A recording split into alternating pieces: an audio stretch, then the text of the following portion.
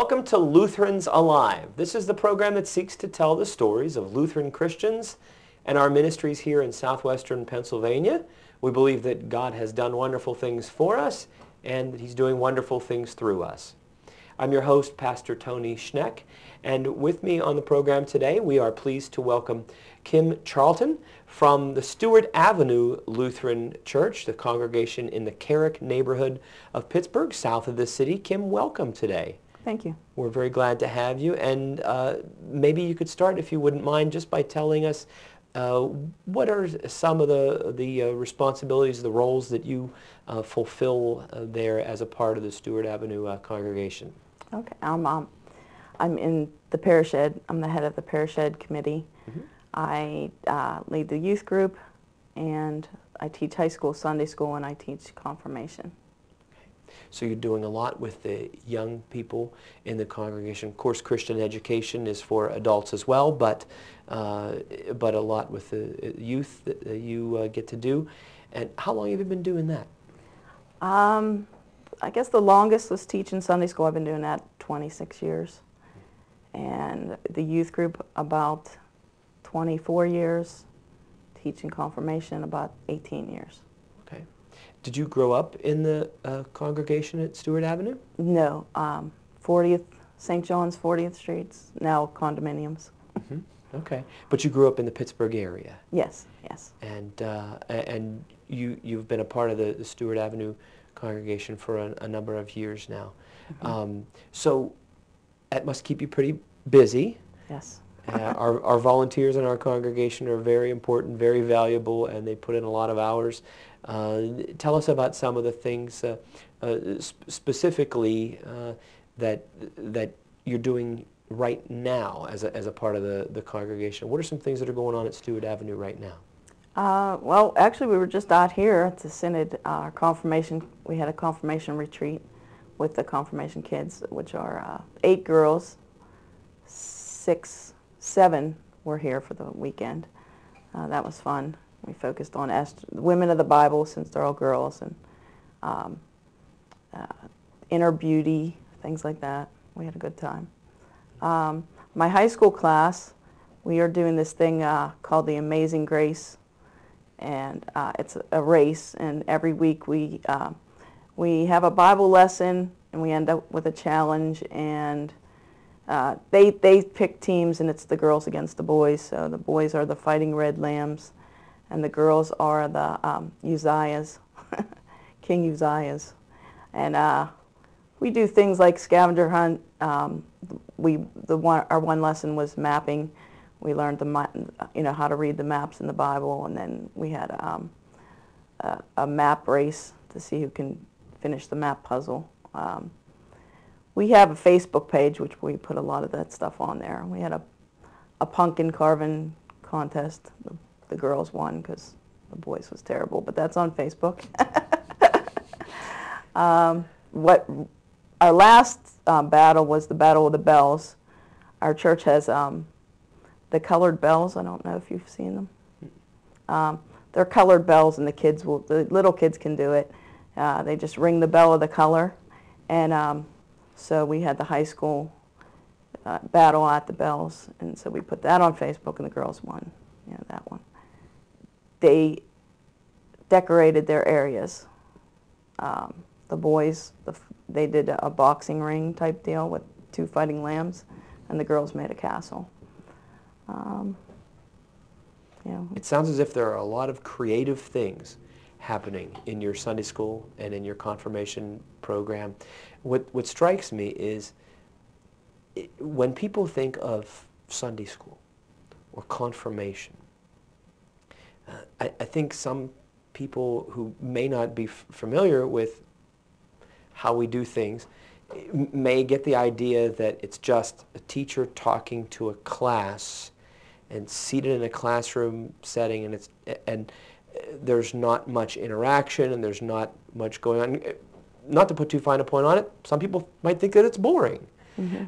But what you've described doesn't sound the least bit boring it sounds very interactive it sounds uh, as if it's very creative uh, a lot of um, a, lot of deductive learning, uh, and uh, uh, a lot of the Sunday school curriculum uh, that we have these days um, is like that.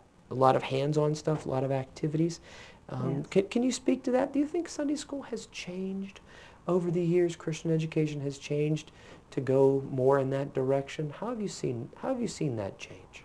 Uh, yeah, it's a it's a lot more interactive, and I know the kids.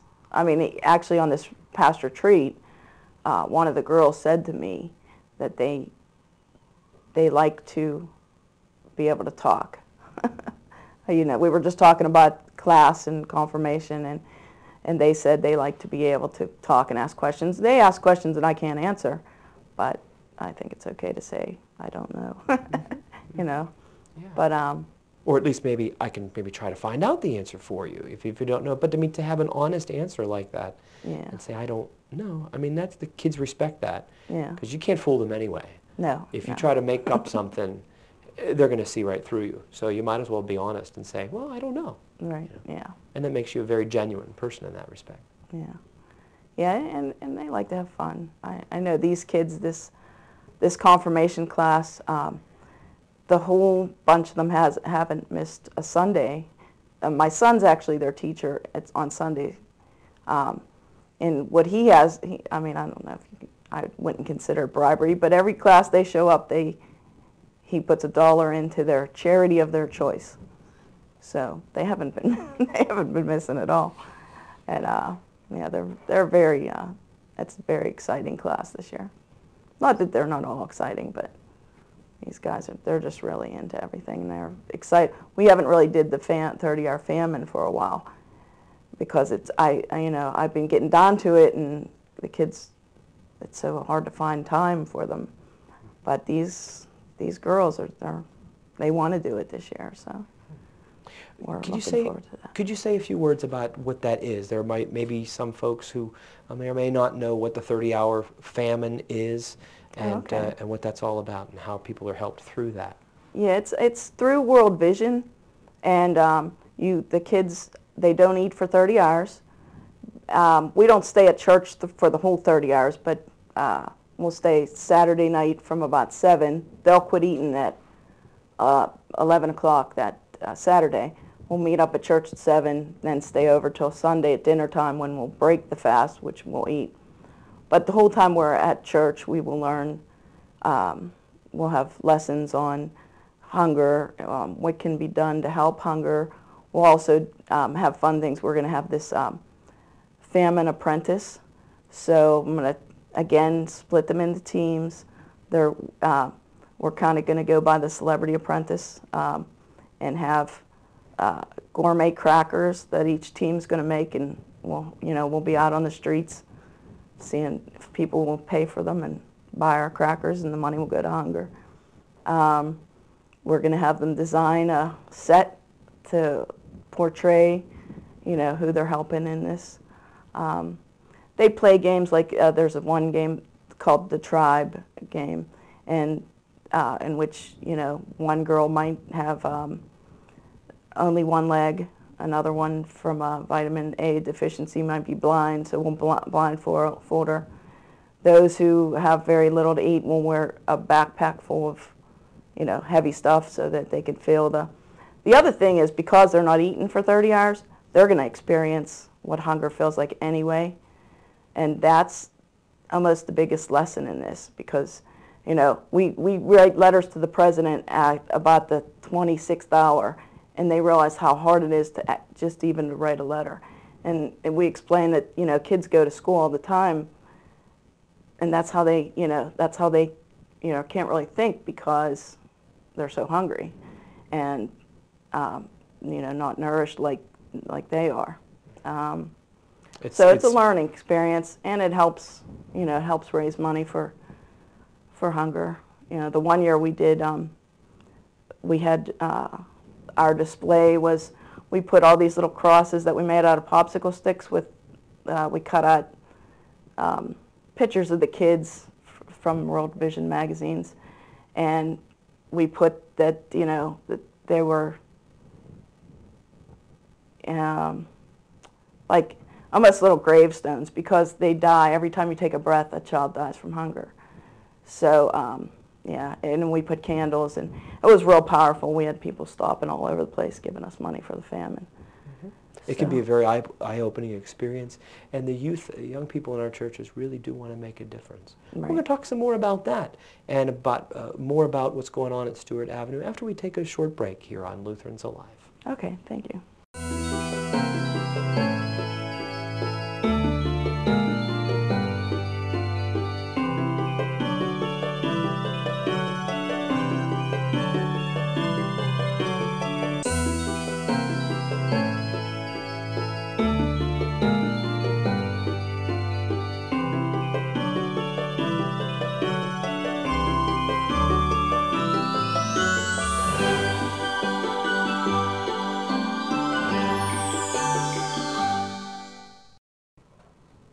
Welcome back to Lutherans Alive. We continue our conversation with Kim Charlton from the Stewart Avenue Lutheran Church in Carrick. Uh, we're glad to have Kim today. Kim, it sounds as if there's a lot going on in terms of youth ministry and Christian education there at Stewart Avenue. Can you say some words about the support of the, the congregation, how important that is uh, that the congregation support these, these ministries, and uh, are, are they indeed very supportive at Stewart Avenue? Uh, yes, yes, we have a lot of great adults that um, they come through and they uh, they'll support them in uh, mentoring, um, financially, um, just being there for them. I mean, we have a we have a lot of events that are both interactive with adults and children.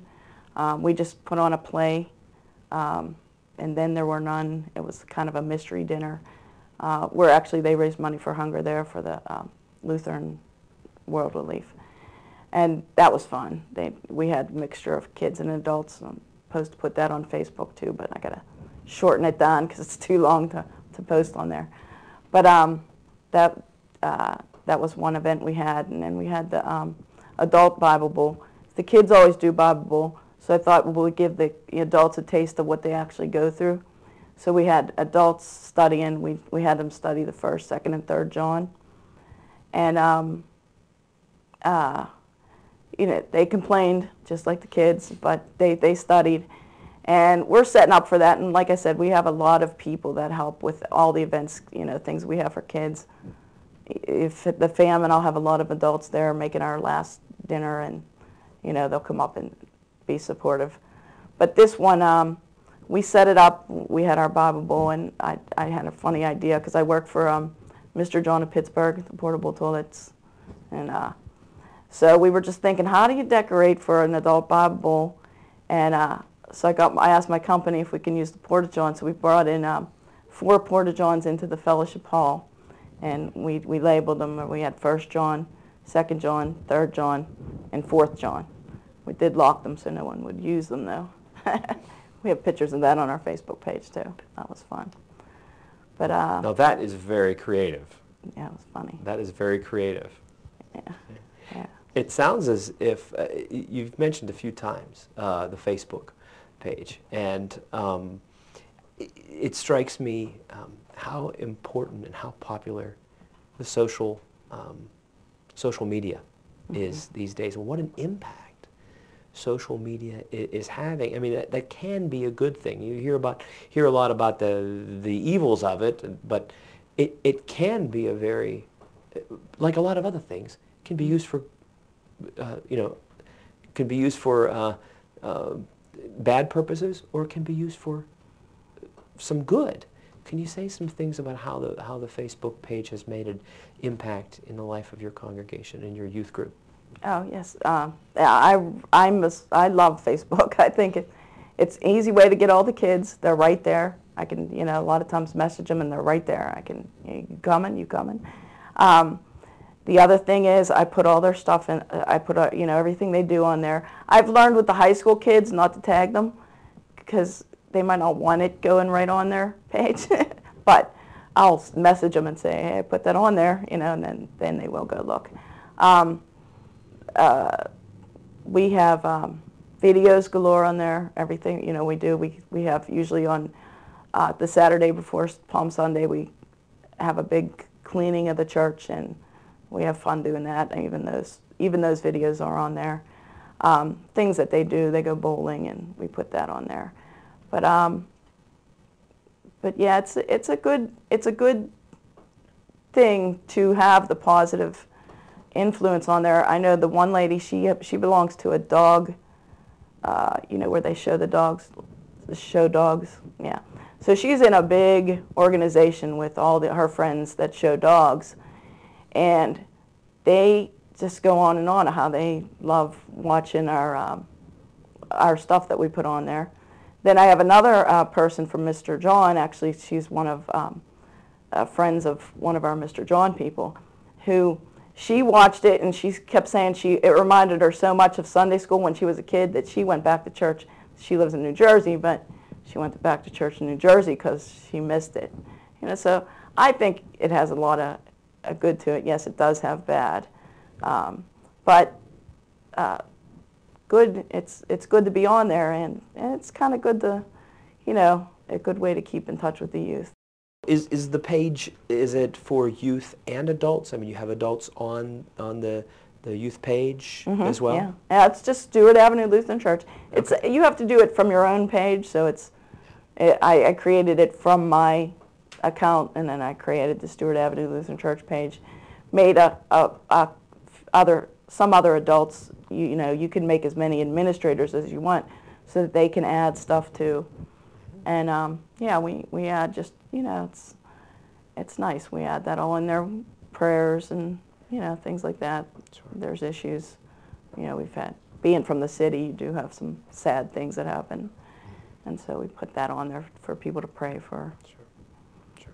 Uh, not that there isn't sad things anywhere. Sure, certainly, certainly. You, it, one of the things that's that's been a part of our conversation thus far um, are the adults who help out with youth ministry and Sunday school. Adults like yourself and others. Uh, it's not just you doing it. No. It's not just you and the pastor.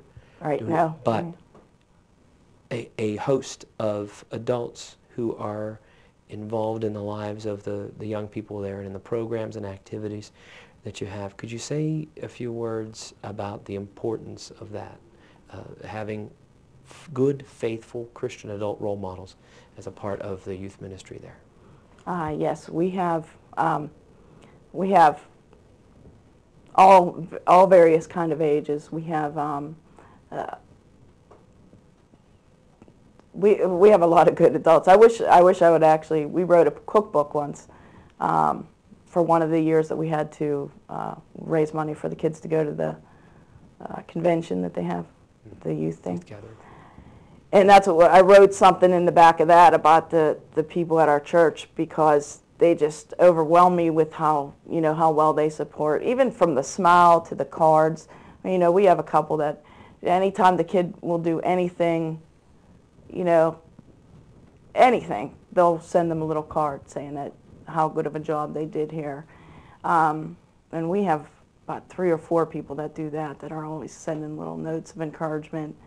Um, we have a mentor program with our confirmation students, so every every uh, student has a mentor, and they'll come to one class a month, and they'll also, you know, just guide them through their two years, you know, and see if they need any help or, you know, they're pretty, they're really good too. And then, you know, we just have our general, I mean, uh, Jerry just comes to mind, you know, just her smile every time she sees a kid.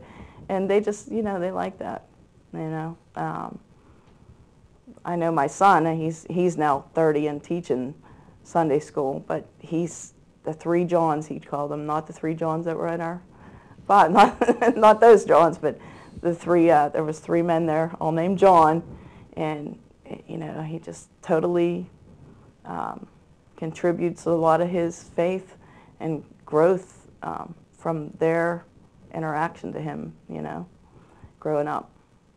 It's so very important. I mean, kids have their parents as role models and examples, primary uh, examples of, of, of uh, how to live and what to believe, faith in the home. But then you've also got the, the congregation, the church community. Good, caring adults are a, a crucial, necessary ingredient in any youth ministry and Christian education program. We're going to talk some more about that. We'll talk some more uh, with Kim right after we have another break here on Lutherans Alive.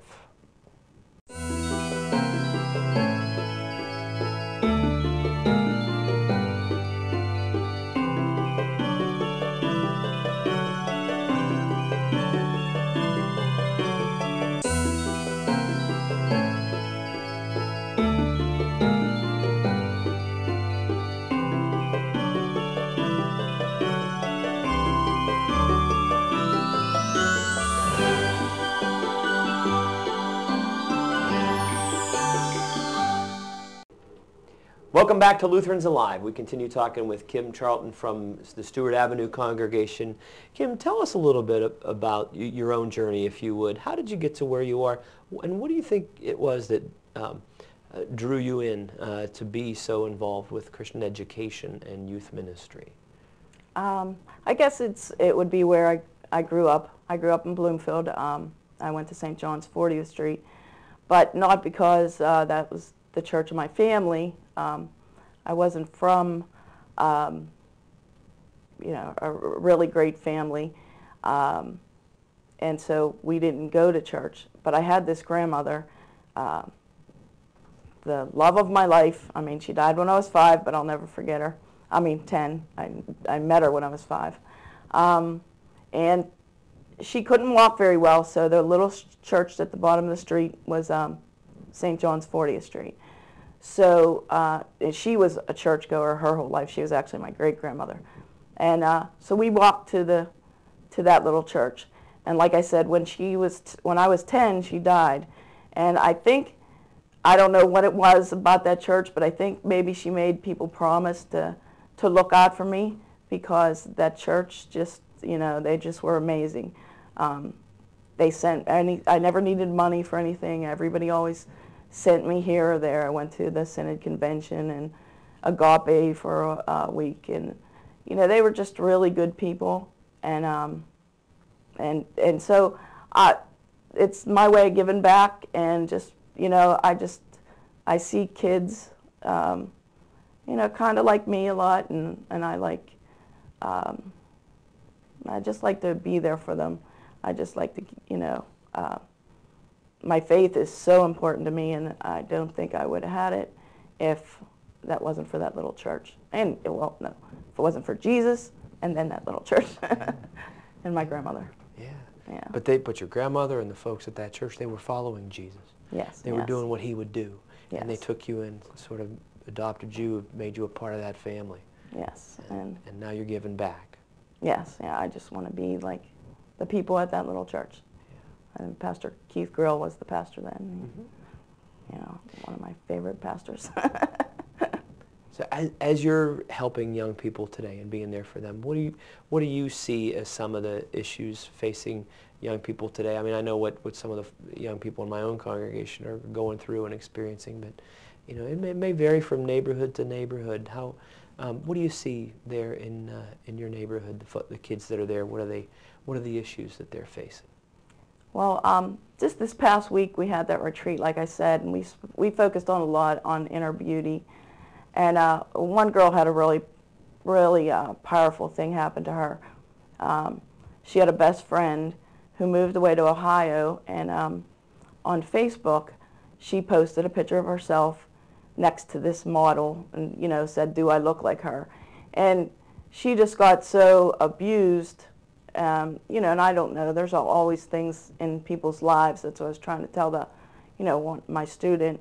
There's so many things in people's lives, but that uh, she ended up killing herself. And not that I can say that that's totally all the reason. That's what I told her, but you know, I know that kids are so, um, you know, they're they're so easily uh, hurt, you know, and so so I told them. I said, turn it off turn off Facebook. If something's on there that hurts you, there's a little X. X, kill it right there. You know, don't let these things, um, you know, and also to be careful. We talked a little bit to be careful what they put on Facebook. You know, says if you wouldn't want your grandmother or me to see it, put it there. You know. Um, but uh, we had good. We had a good week. It was so. Um, it was so, that's so, so much the focus of kids and, you know, trying to be the stars or the, you know, the magazine, you know, people. And, and um, I was like, no, we made um,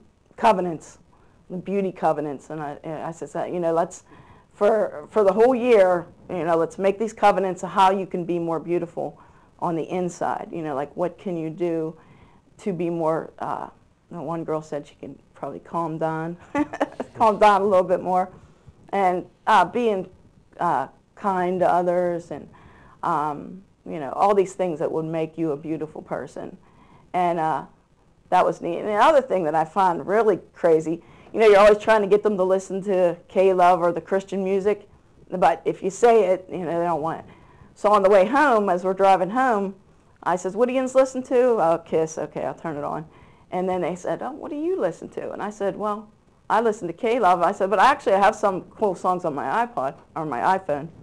And I turned it on, and right there, that song "Beautiful," and I it was so powerful. I was like, thanks. Sometimes God's just right there in the car with you.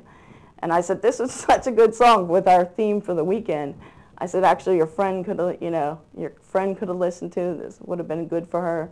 And uh, yeah, they all, they wanted to know. We listened to that music all the way home, and I didn't even start to go there because sometimes you, they just, you know, they don't want to hear it. They don't want to hear it. They don't want to hear it.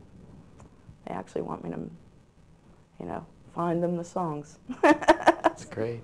That's Yeah. great. You're definitely um, doing some wonderful things there, Kim. God is doing some wonderful things in that in that neighborhood and with your young people, and it is so important. And uh, I know in, in my own congregation, I treasure those adults who have a heart for the young people and want to um, and want to reach out to them, just be a part of their lives and be there for them and listen to their to their joys and their sorrows and uh, and uh, be a part of their lives. Thanks for what you're doing. Thanks for your continued service to, to Christ and His church, and thanks for being here today. Thank you for having me. And thanks for being with us today on Lutherans Alive. From wherever you're watching, in your neighborhood, near your neighborhood, whether you're in Carrick or wherever you are, there's a Lutheran congregation in or near your neighborhood who would be very pleased to welcome you. Won't you come and worship with us? And won't you see us next time on Lutherans Alive?